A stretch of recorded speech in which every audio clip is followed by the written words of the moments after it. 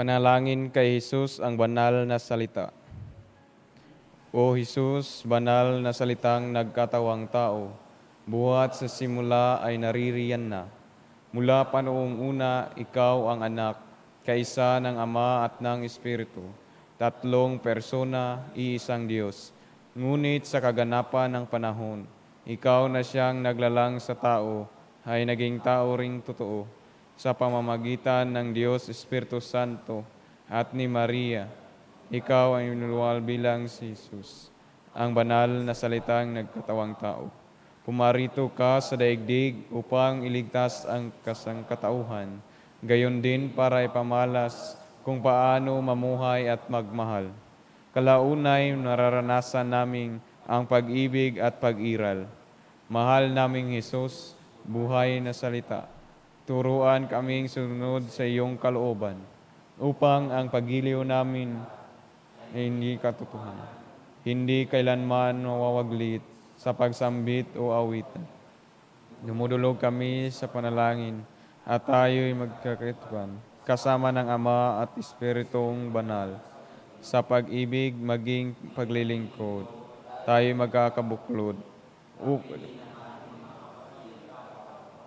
lalo na ng mga nangangailangan ng pagkalinga, sapagkat kung ano ang ginawa namin sa isa't isa, ay ginawa rin namin sa iyo. Sa iyong pangalan, dumadalangin kami sa anumang paraan at palagi. Amen.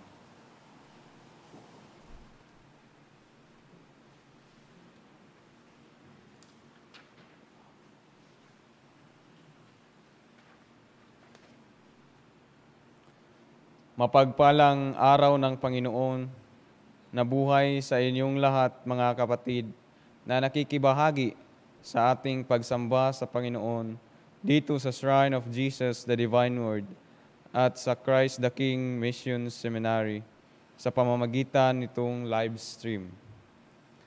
Pangako ni Jesus na hindi tayo iiwang nangungulila sapagkat siya'y sumasa atin Halina't taimtim tayong dumulog sa Ama kasama ni Jesus at dalhin ang mga pangangailangan natin at ng buong mundo na haharap nitong malubhang panganib ng pandemya. Alaalahanin din natin ang mga sumusunod na intentions na ipinadala sa atin at inilagay sa ating Facebook page. Thanksgiving, Renato Valero and family for the gift of life of Arnel Alon Regine Nagio. Special intentions, Bernadette Gia and family, Gigi Alfonso, Limbo family, Private Story Enterprises Incorporated, and its workers, Eva Estavillo, Cristina De Santos, Renato Pacheco, Visarion El Valero, Victoriana Lagula Valero. Ang Chuanchua Maria Lotgarda Carlos. Mayflower Kalim, Cruz family, Jose Antonio Rodriguez, Ana Katrina de Rosario, and for the healing of Maria Almario, Lourdes Solis, Richard Friederd, Rina Hubilia, Ben Carelo. For the healing and fast recovery of Juanita Carino, Mark Labial, Roberta Alon, Maria Carmelita Admana. For the souls of Jose P. Javier, Stevenson Brown, Vicinta Villoso, Benito Villoso, Virginia Rica Blanca, Filipa, Alfonso Banta, Purita Subiaga, Carmelita Simbulan, Ricardo Santos, Edgardo Santos, Lucas Dalosong, Marcelina Santos, Anastasia Santos, Idna Montes, Telma Saison, Claro, Amanda, Danilo, Belenda, Wilfredo Valero, Dalisay, Nawi, Loreto Id- Idyongko, Rodi Gape, Silverio Kalim, Estrelita Kalim, Elvera Pajardo, Danilo Lagare, Us- Justa Or, Marivic Chu, Roland Chanchu, Eileen Om, Nelroy, Rodriga Alfredo, Fidel Bolaño, Gima Bolario, Francisco Le Lee, Romeo Lee, Elizabeth Moyot. Ang mamumuno sa ating pagdiriwang ay si Father Al Aracel, Araceli, SVD, misyonero sa SVD Southern Province at sa kasalukuyang nag-aaral sa University of Santo Tomas ng Doctorate in Education. Magsimula na po ang pagdiriwang. Magsitayo ang lahat.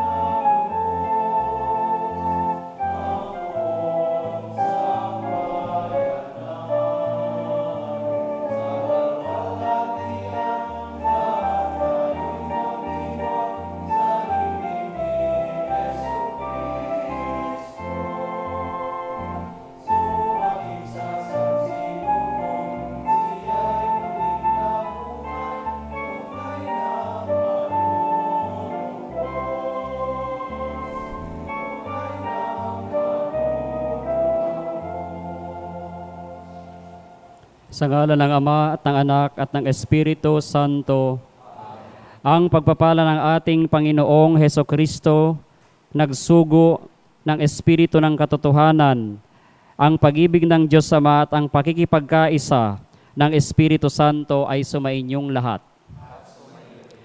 Madalas tayong natatakot mag-isa sa buhay, ngunit tiniyak ni Jesus na hindi ito mangyayari para sa ating kakulangan ng pagtanggap sa Espiritu ng katotohanan, humingi tayo ng tawad.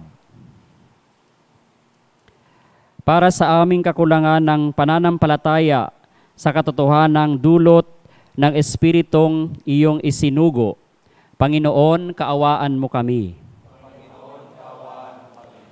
Para sa aming kawalan ng pag-asa sa lakas na bigay ng iyong Espiritu, Kristo, kaawaan mo kami. Para sa aming kahinaan ng pagmamahal sa iyo, na nakapagsugo ng Espiritu dahil sa iyong pagpapakasakit sa krus, Panginoon, kaawaan mo kami. Kaawaan tayo ng makapangyarihang Diyos, patawarin tayo sa ating mga sala, at patnubayan tayo sa buhay na walang hanggan.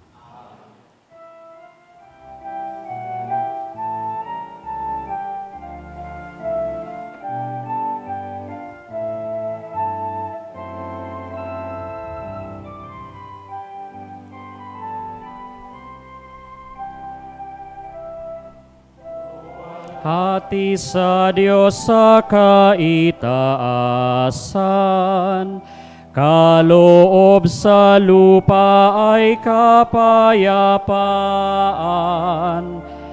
Pinupuri ka at ipinagdarangal, sinasamba ka dahil sa dakila mong kalwalhatian.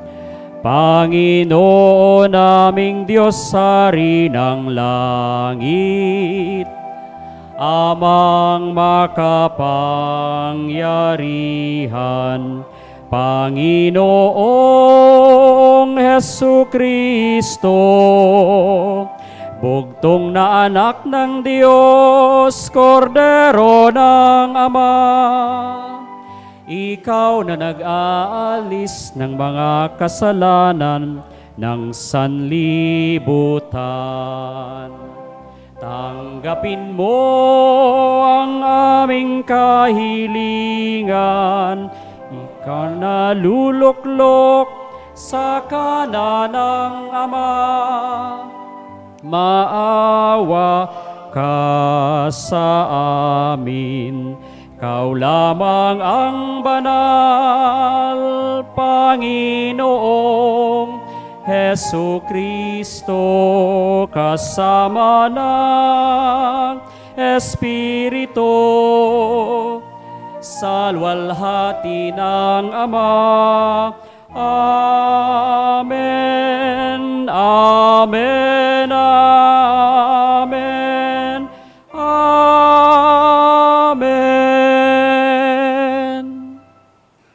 Manalangin tayo.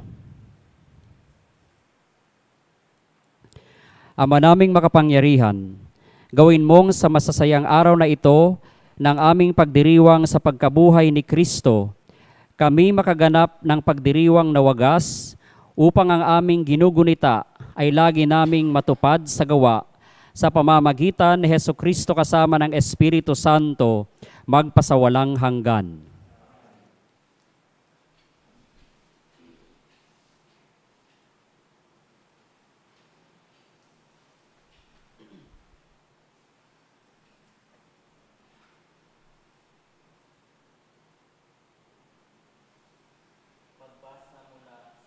Gawa ng mga apostol. Noong mga araw na iyon, nagpunta si Felipe sa isang lungsod ng Samaria at ipinarangal doon ang Mesiyas. Nang nabalitaan ng mga tao at makita ang mga kababalaghang ginawa niya, pinakinggan nilang mabuti ang sinasabi niya. Sapagkat ang masasamang espiritu ay umaalis sa mga taong inalihan nito at sumisigaw habang lumalabas. Maraming lumpo at mga pilay ang napagaling, kaya't nagkaroon ng malaking kagalakan sa lungsod na iyon. Nang nabalitaan ng mga apostol na nasa Jerusalem na tinanggap ng mga Samaritano ang salita ng Diyos, sinugo nila roon sina Pedro at Juan Pagdating doon, ipinanalangin nila ang mga Samaritano upang sila'y tumanggap din ng Espiritu Santo sapagkat hindi pa ito bumababa sa kaninuman sa kanila. Sila'y nabinyagan lamang sa pangalan ng Panginoong Hesus at ipinatong nina Pedro at Juan ang kanilang kamay sa kanila at tumanggap sila ng Espiritu Santo. Ito ang salita ng Diyos.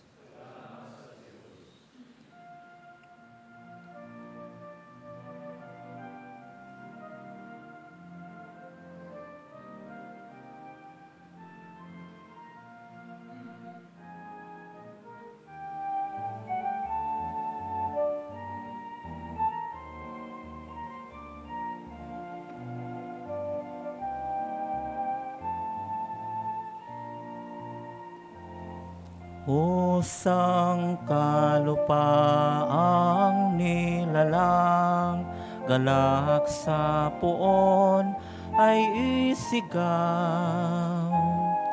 Alleluia, Alleluia, ay isigaw.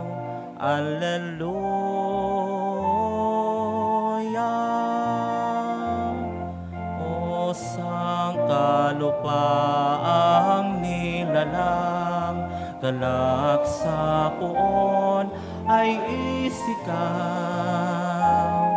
Alleluia, Alleluia, ay isigaw. Alleluia.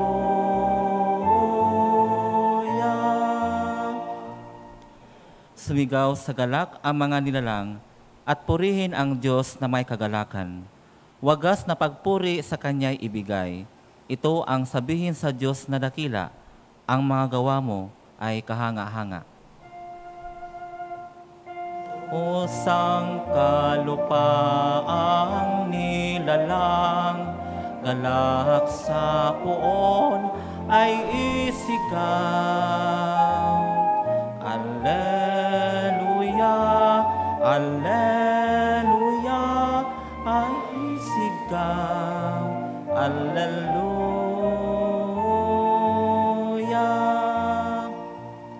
Ang lahat sa lupa ikay sinasamba, awit ng papuri yaong kinakanta. Ang iyong pangalay pinupuri nila, ang ginawa ng Diyos, lapit at pagmasdan, ang kahangahangang ginawa sa tanan. O sangkalupaang nilalang, galak sa puon ay isigaw. Alleluia, Alleluia, ay isigaw. Alleluia.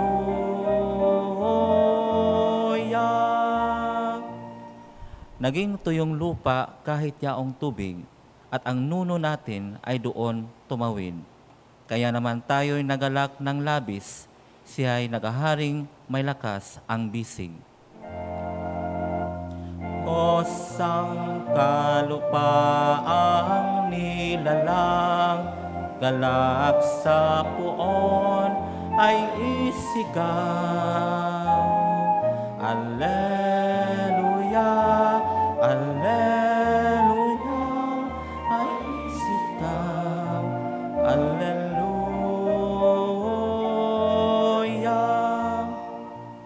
Lapit at makinig ang nagpapangaral sa Diyos at sa inyo'y aking isasaysay ang kanyang ginawang mga kabutihan.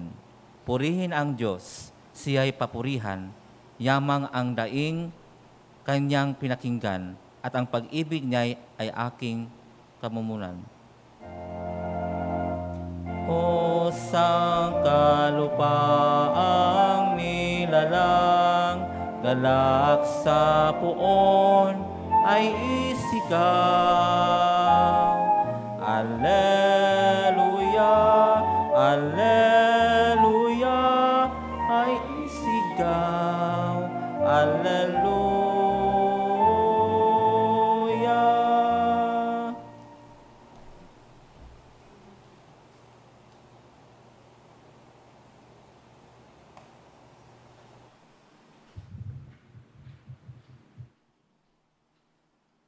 Pagbasa mula sa unang sulat ni Apostol San Pedro.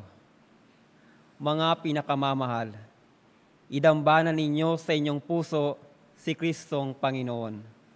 Humanda kayong lagi na magpaliwanag sa sino mang magtatanong sa inyo tungkol sa inyong pag-asa. Ngunit maging mahinahon at mapitagan kayo sa inyong pagpapaliwanag. Panatilihin ninyong malinis ang inyong budhi upang mapahiya ang mga umaalipusta at tumutuya sa inyong magandang asal bilang mga lingkod ni Kristo. Higit na mainam ang kayo'y magdusa dahil sa paggawa ng mabuti, sakali mang loobin ito ng Diyos, kaysa magdusa kayo dahil sa paggawa ng masama. Sapagkat si Kristo'y namatay para sa inyo, namatay siya dahil sa kasalanan ng lahat, ang walang kasalanan para sa mga makasalanan, upang iharap kayo sa Diyos. Siya'y namatay ayon sa laman at muling binuhay ayon sa Espiritu. Ito ang salita ng Diyos.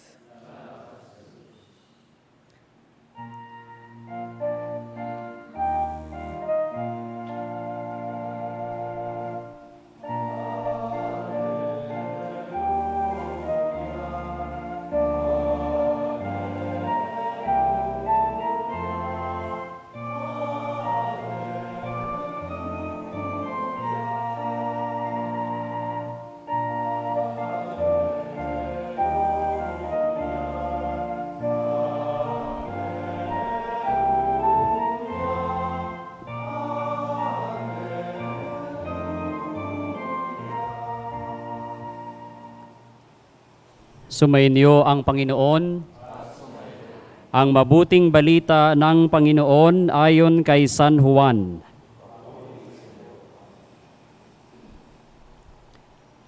Noong panahong iyon, sinabi ni Jesus sa kanyang mga alagad, Kung iniibig ninyo ako, tutuparin ninyo ang aking mga utos. Dadalangin ako sa Ama at kayo'y bibigyan niya ng isa pang patnubay na magiging kasama ninyo magpakailanman. Ito'y ang espiritu ng katotohanan na hindi matanggap ng sanlibutan sapagkat hindi siya nakikita ni nakikilala ng sanlibutan. Ngunit nakikilala ninyo siya sapagkat siya'y sumasa inyo at nananahan sa inyo.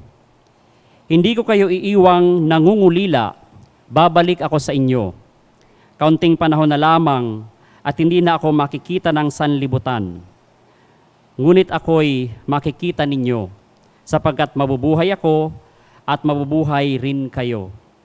Malalaman ninyo sa araw na yaon na ako'y sumasa Ama, kayo'y sumasa akin, at ako'y sumasa inyo. Ang tumatanggap sa mga utos ko at tumutupad nito, ang siyang umiibig sa akin.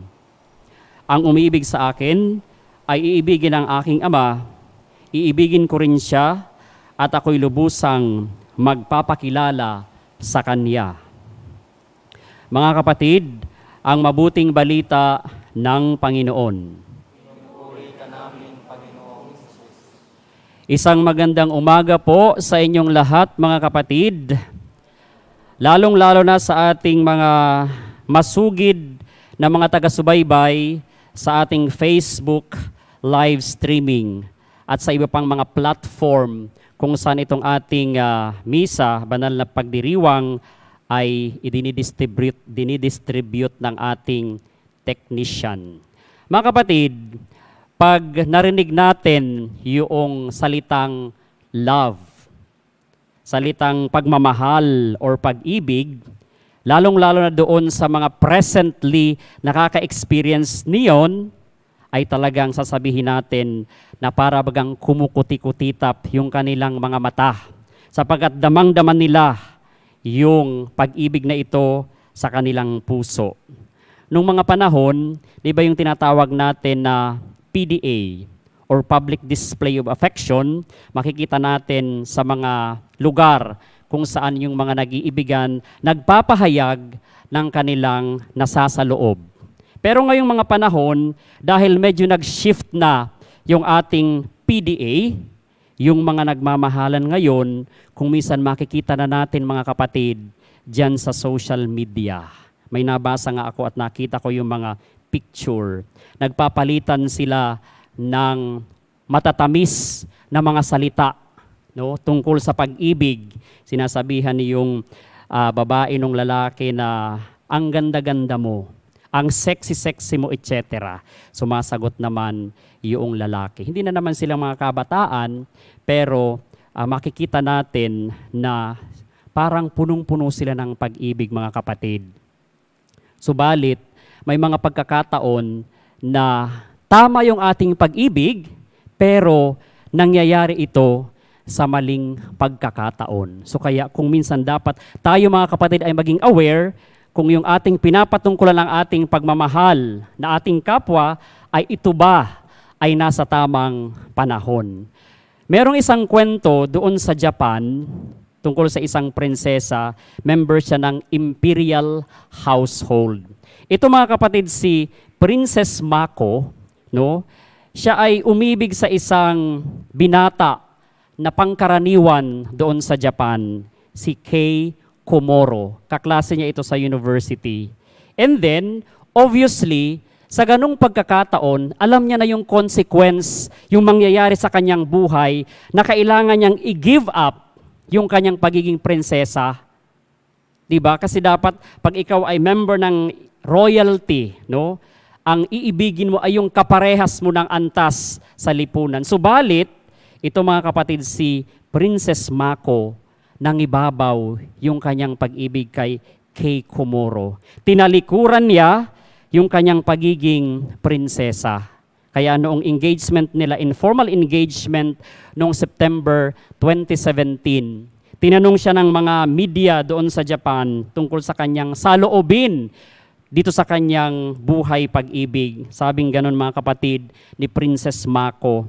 From the time I was a child, I was aware that upon marrying, I would give up my position as a member of the imperial household. O, aware naman pala siya mga kapatid, sa ganitong pagkakataon ay pinangibabaw niya yung kanyang nararamdaman dun sa kanyang iniibig. At ito pala mga kapatid ay hindi na rin bago sa kasaysayan ng imperial household sapagkat yung kanyang auntie, si Princess Sayako, ay umibig din sa isang pangkaraniwan na binata noong 2005 na si Yoshiki Kuroda. So ito ang kwento ng pag-ibig, makatotohanan at isinakripisyo yung status sa buhay over and above sa kanyang nararamdaman na pagmamahal sa kanyang iniibig.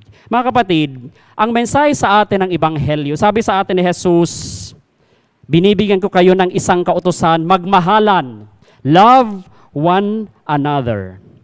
Dito, may tatlong mga katangian or karakteristik na dapat nating pagnilay-nilayan itong tinatawag ni Kristong pagmamahal. Pagmamahal sa kapwa at pagmamahal sa Diyos. Unang-una mga kapatid sa tatlong ito, walang iba kundi ang pag-ibig na nananatili or love that remains. Pangalawa, pag-ibig na nagbibigay buhay, love that gives life. At ang pangatlo ay pag-ibig na nag-uugnay, love that unites. Una, pag-ibig na nananatili. Mga kapatid, ngayon ay ikaanim na linggo sa muling pagkabuhay. Sa susunod na linggo, dakilang kapistahan ng pag-akyat ng Panginoon or ascension. At sa susunod ay linggo ng Pentecostes, Pentecost Sunday. Bakit kaya nasabi ni Jesus na siya ay mayroong pag-ibig na nananatili sa atin sapagkat siya ay aalis dahil nga pag-akyat ascension, wala na yung kanyang physical presence. Subalit, ang kanyang iiwan ay walang iba kundi ang Espiritu. Holy Spirit. At ito ang magagabay mga kapatid sa mga tagasunod or even sa atin na mga mananampalataya, yung Espiritu ay nan, na, mananahan sa atin. Ito ang tinatawag ni Kristo na pag-ibig na nananatili. Love that remains. Kahit wala physically, pero sa pamamagitan ng Espiritu, ay nandyan palagi. Ginagabayan. Di ba ang role ng Espiritu ay defender, teacher, witness. So itong mga bagay-bagay na makakamit ng mga tao na nananalig at nananampalataya kay Kristo at, at ang Espiritu Santo sapagkat siya ay nananatili sa kanila. Hindi ito katulad ng pag-ibig ngayon, no? Yung mga nagmamahalan, narinig nyo na ba yung word na ghosting, di ba? Yung ghosting mga kapatid ay nasa relationship ka and all of a sudden bigla na lang nawala na parang multo. Hindi na malayan nung isa, ay, na ghosting na pala ako. 'di ba? So yun mga kapatid ngayon, ang uso, ghosting daw, sabi sa mga nababasa ko at natutunghayan sa mga balita, yun ang uso ngayon. Na kung minsan yung mga tao na, na, na nakakaranas nito, sila, sila rin ay nasa shock, ay na ghosting pala ako, hindi ko na malayan, parang dumaan lang na multo, na wala na yung pag-ibig. Doon, wala yung pag-ibig na nananatili. Pangalawa, pagbibigay, pag-ibig na nagbibigay buhay, giver of life. Ito rin mga kapatid, ang sinasabi ni Jesus na yung kanyang pagmamahal sa atin ay nagbibigay buhay sapagkat hindi niya iniwanan, nabanggit na natin yan sa ating unang uh, pagninilay, hindi niya iniwanan yung kanyang mga tagasunod na orphan or mga ulila na wala silang mapuntahan bagkus nandyan palagi sa kanila yung Espiritu Santo. True love then gives life, not death to the beloved. Meron akong isang uh, napanood na documentary tungkol sa mga survivor ng COVID-19. Yung pala mga kapatid, pag ikaw ay nakasurvive sa uh, COVID-19, ay gagawin kang donor. Pwede kang mag-donate ng blood plasma. No? Pag-ibig na nagbibigay buhay. Tapos, ang tawag nila dito sa blood plasma ay liquid gold. Sapagkat pagkatapos mong gumaling, ikaw ay sasailalim ulit sa isang blood extraction. Tapos doon sa pamamagitan niyon, is-separate yung iyong uh, dugo at yung blood plasma. Yung liquid gold or yung blood plasma, yun ang idodonate doon sa mga nagkakasakit din ng COVID.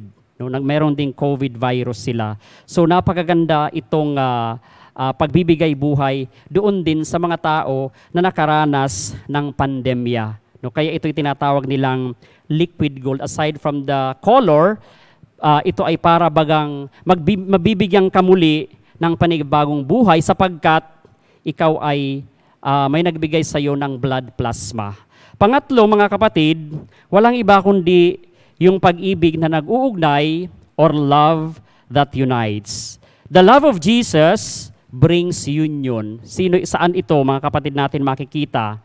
Doon sa mga minamahal niya at doon sa Ama na nagsugo sa Kanya. At dapat yung ating particular attitude nito ay nakatingin tayo doon sa ating tagapaglikha in union with Christ sapagkat siya ang ating pinagmumulan ng buhay at pinagmumulan ng pag-ibig. 'Di ba? Ito ang uh, palagi nating sinasabi kung tayo ay nagbibigay uh, ng pagninilay sa mga ikinakasal na mga mag-asawa.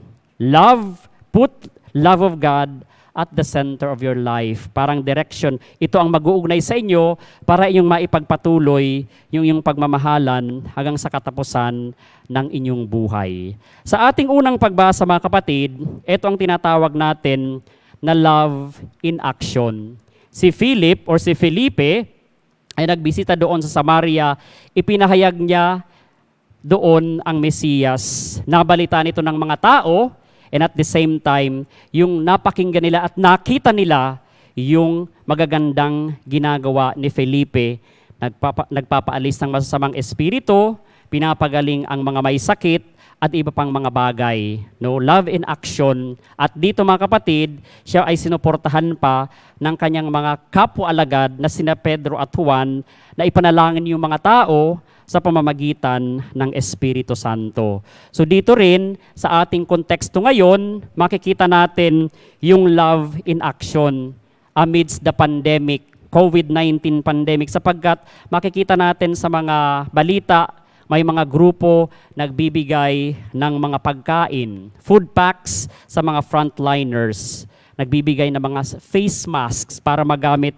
ng mga tao or even mga kapatid, sa ating simpleng uh, pamumuhay, love in action, yung ating simple na pagsunod sa ating mga common rules. Kung hindi tayo lalabas, huwag tayong lalabas. Hindi huba. Hindi yung labas-labas tayo, hindi naman tayo nagpapaalam. Hindi natin alam tayo pala ay carrier na ng COVID-19 virus. So imagine niyo so doon dapat ipakita natin din yung love in action. And lastly, sa ating second reading, si Peter, binibigyan tayo ng isang paalala or advice na ta- dapat daw tayo ay idambana natin si Kristo sa ating buhay. Dambana, di ba, isang shrine. Anong ginagawa sa shrine? Sinasamba. At doon sa ating pagdambana kay Kristo, dapat handa tayong magpaliwanag ng mga bagay tungkol sa Kanya na mahinahon at mapitagan at malinis din ang ating budhi. Ito ay dapat taglayin ng isang taong idinadambana si Kristo sa kanyang buhay. Tayong lahat mga kapatid ay unang nakadama ng pag-ibig, of course, of course obviously, sa ating mga pamilya kung saan tayo nagising. Hindi ho ba? Yun ang ating first hint of love na ating naranasan sa pamamagitan ng ating pamilyang kinagisnan. Katulad din ni Kristo, nagising siya, namulat sa isang banal na pamilya or banal, na mag-anak. Kaya itong karanasan natin, pagkadama natin ng pag-ibig, ito rin ang ibinabahagi natin sa ating kapwa. Si Pope Francis sa kaniyang post-synodal apostolic exhortation of the Holy Father Francis on the love in the family, Amoris Laetitia, sabi niya, persevere in a love is strengthened by the virtues of generosity, commitment, fidelity, and patience. Magsitayo na pong lahat para sa pagpapahayag ng pananampalataya.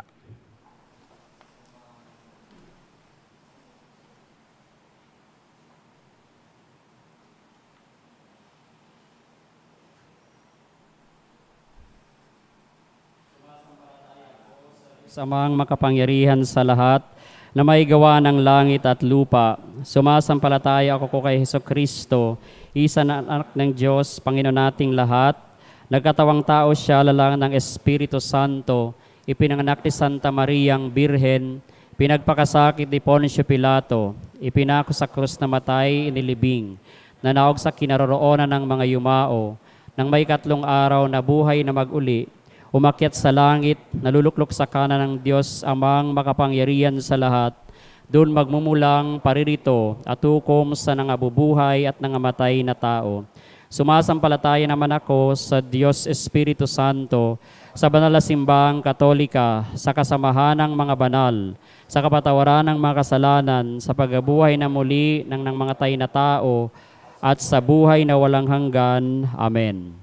Panalangin ng Bayan Hingin natin sa Diyos na lumakas ang ating pagmamahal kay Kristong muling nabuhay at pabalik na sa kanyang Ama. Ang ating sasambitin ay, Amang mapagpala, isugo mo sa amin ang Espiritu ng katotohanan.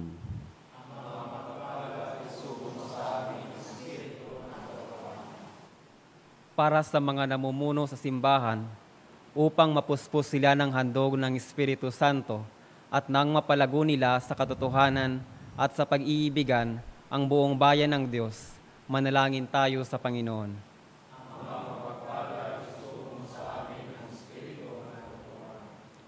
Para sa lahat ng mga Kristiyano at mga taong may mabuting kalooban, upang sa taong ito ng ekonomismo at pag-uusap hinggil sa pananampalataya ay darangin ng Espiritu ang kanilang mga puso ng apoy ng dalisay na pag-ibig. Manalangin tayo sa Panginoon.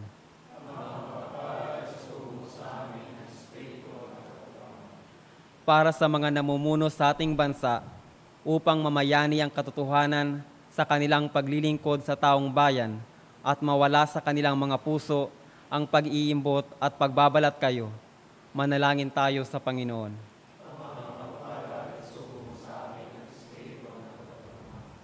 Para sa mga taong nagsisikap sundin ang utos ni Kristo sa kanilang pang-araw-araw na buhay upang sa pagninilay sa salita ng Diyos at sa pagdiriwang ng banal na Eukaristiya ay matagpuan nila ang pagkaunawa at sigla sa buhay. Manalangin tayo sa Panginoon.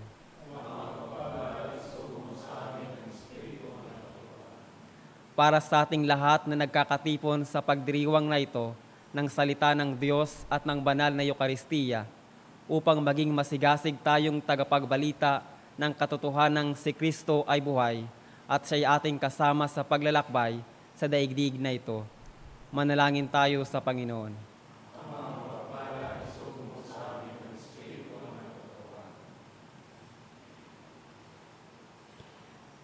Ama naming muling bumuhay kay Heso Kristo mula sa kamatayan, Isugo mo sa amin ang Espiritu Santo upang hindi kami malubog sa burak ng kalungkutan, pagkabigo at kawalan ng pag-asa, bagkos ay maging masasayang tagapagdala ng magandang balita ng kaligtasan sa sandaigdigan.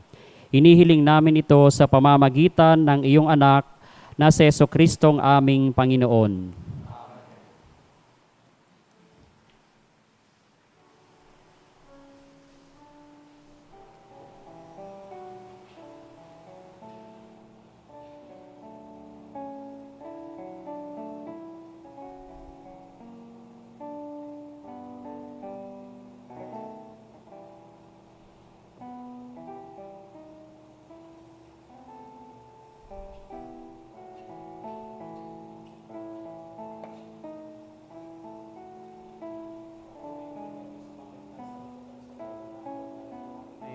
Mula sa lupa at bunga ng aming paggawa ang tinapan ito para maging pagkaing nagbibigay buhay.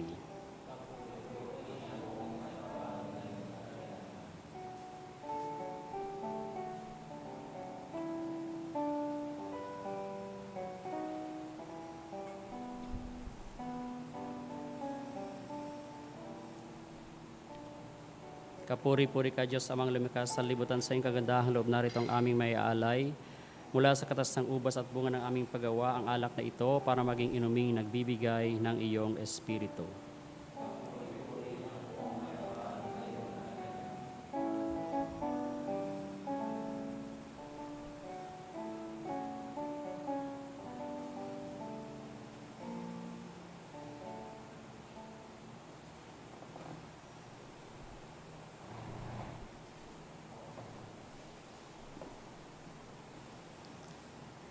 Manalangin kayo mga kapatid upang ang paghahain natin ay kalugdan ng Diyos amang makapangyarihan. Sa makamay. Karangalan sa ating kapakinabangan at sa buong sambayanan niyang banal. Ama naming lumika, paakyatin mo sa iyong piling sa kalangitan ang aming mga panalangin kalakip ng haing mga alay upang ang mga pinagindapat mong gawing dalisay ay maging marapat na makasalo sa piging ng iyong pagmamahal sa pamamagitan ni Kristo kasama ng Espiritu Santo magpasawalang hanggan. Sumainyo ang Panginoon, itaas sa Diyos ang inyong puso at diwa. Pasalamatan natin ang Panginoong ating Diyos. Ama naming makapangyarihan, salamatan, ngayong ipinagdiriwang ang paghahain ng Mesiyas, ang maamong tupa na tumubos sa aming lahat. Sa paghahain ng sariling buhay at sa pagkabuhay ng anak mong mahal, nabuksang ganap ang iyong tahanan at kaming pinaghaharian mo'y naging kasambahay. Sa pagkamatay niya sa krus, nalupig ang kamatayan. Sa kanyang pagkabuhay, naging buhay siya ng tanan. Kaya kaisa ng mga anghel na nagsisiawit ng papuri sa iyo, nang walang humpay sa kalangitan, kami nagbubunyi sa iyong kadakilaan.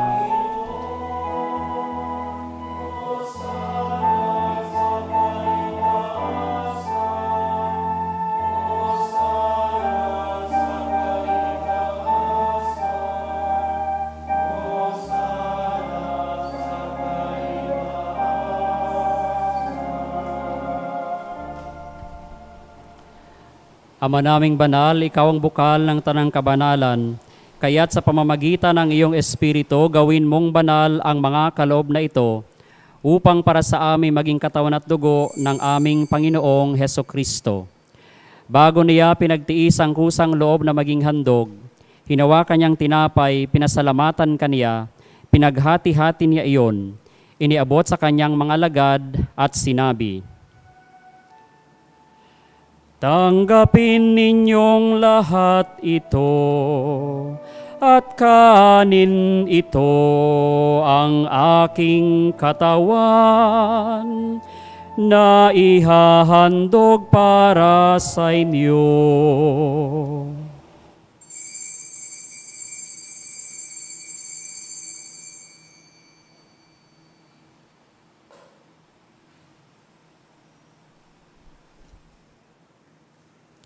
Gayon din naman nung matapos ang hapunan, hinawakan niya ang kalis, muli kaniyang pinasalamatan. Iniabot niya ang kalis sa kanyang mga alagad at sinabi, Tanggapin ninyong lahat ito at inumin ito ang kalis ng aking dugo ng bago at walang hanggang tipan. Ang aking dugo ay bubuhos para sa inyo at para sa lahat.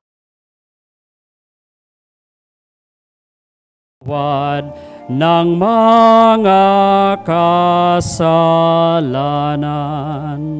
Gawin ninyo ito sa pag-alala sa akin.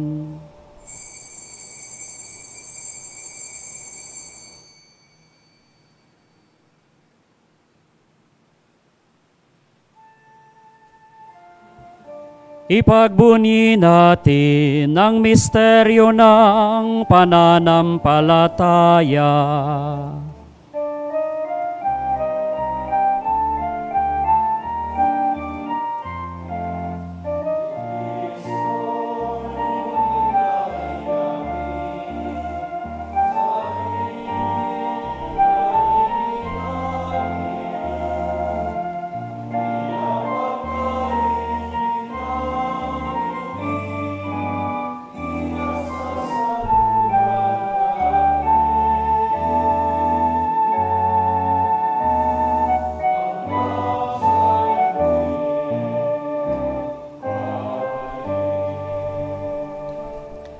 Ang mga ginagawa namin ngayon ng pag-alala sa pagkamatay at muling pagkabuhay ng iyong anak, kaya't iniaalay namin sa iyong tinapay na nagbibigay buhay at ang kalis na nagkakaloob ng kaligtasan.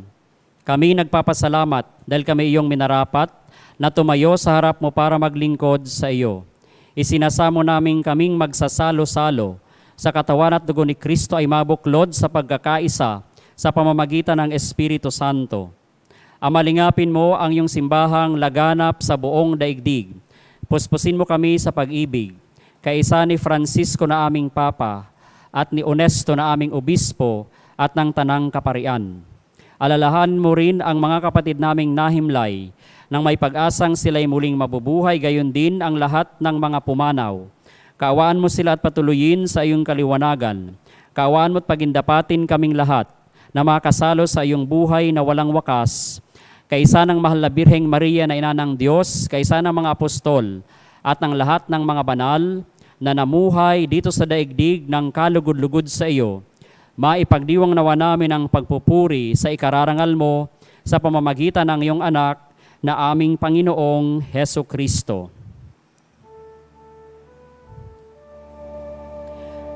Sa pamamagitan ni Kristo, kasama niya at sa Kanya, O Diyos amang makapangyarihan, Ikaw ay pinupuri at ipinagdarangal kaysa ng Espiritu Santo, magpasawalang hanggan.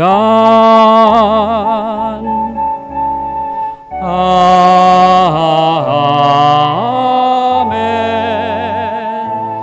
Amen. Alleluia. Amen. Amen.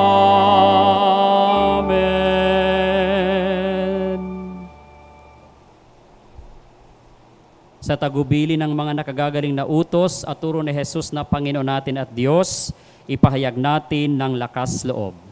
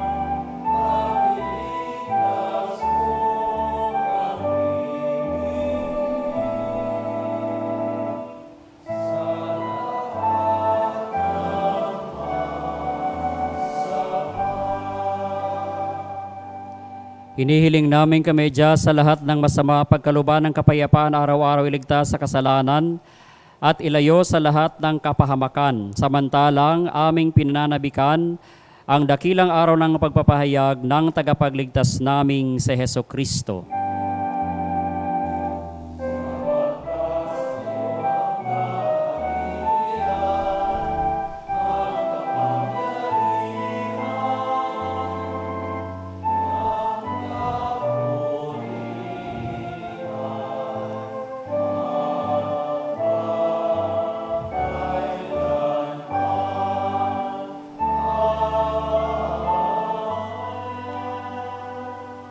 Panginoong Heso Kristo, sinabi mo sa iyong mga apostol, kapayapaan ang iniwan ko sa inyo, ang aking kapayapaan ang ibinibigay ko sa inyo, tunghayan mo ang aming pananampalataya at huwag ang aming mga pagkakasala.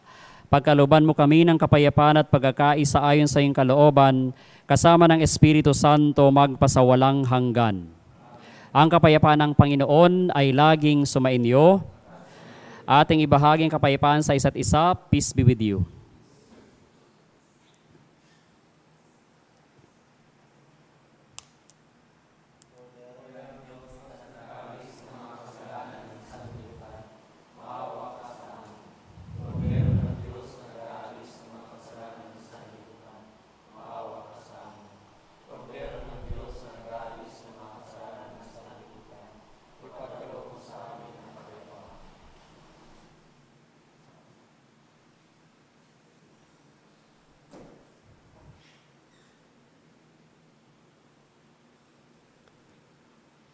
Ito ang kordero ng Diyos, ito ang nag-aalis ng mga kasalanan ng sanlibutan. Mapalad ang mga inaanyayahan sa kanyang banal na piging.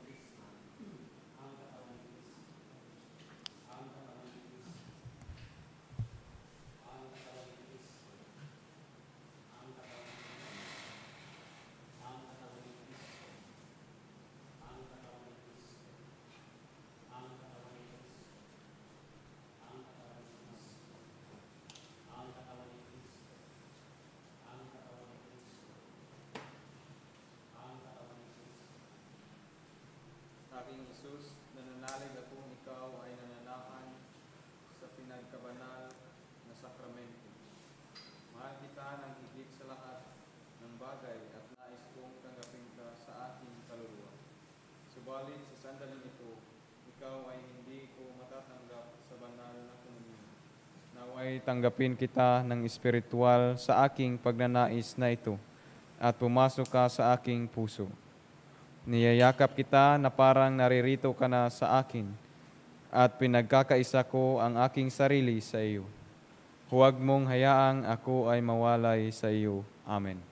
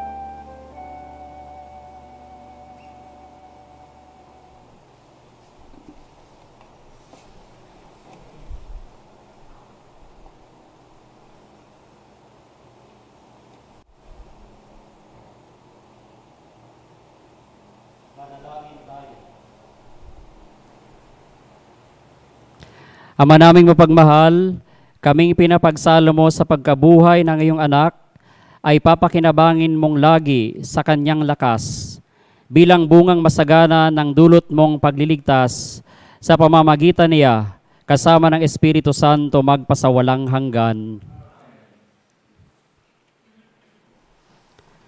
Oratio Imperata laban sa COVID-19. Makapangyarihan at mapagmahal na Ama, nagsusumamo kami sa iyo upang hilingin ang iyong patnubay laban sa COVID-19 na nagpapahirap sa marami at kumitilna ng mga buhay. Gabayan mo ang mga dalubhasang naatasan na tumuklas ng mga lunas at paraan upang hinto ang paglaganap nito. Patnubayan mo ang mga lumilingap sa may sakit upang ang kanilang pagkalinga ay malaki pa ng husay at malasakit. Itinataas namin ang mga nagdurusa, makamtanawa nila ang mabuting kalusugan. Lingapin mo rin ang mga kumakalinga sa kanila. Paggamitin mo ng kapayapaang walang hanggan ang mga pumanaw na. Pagkaluban mo kami ng biyaya na magtulong-tulong tungo sa ikabubuti ng lahat. Pukawin sa amin ang pagmamalasakit sa mga nangangailangan. Nagsusumamo kami na iyong hintuna ang paglaganap ng virus at ipagadya kami sa lahat ng mga takot. Iniling namin ito sa pamamagitan ni Yeso Kristo na nabubuhay at naghaharing kasama mo at ang Espiritu Santo, isang Diyos magpasawalang hanggan. Amen. Dumudulog kami sa iyong patnubay, mahal na ina ng Diyos. Pakinggan mo ang aming mga kahilingan sa aming pangangailangan at ipagadya mo kami sa lahat ng kasamaan, maluwalhati at pinagpalang Birhen. Amen. Mahal na Birhen, mapagpagaling sa may sakit. San Rafael Arcangel, San Roque, San Lorenzo Ruiz, San Pedro Calungsod, San Arnold Johnson at San Jose Fray Nademets.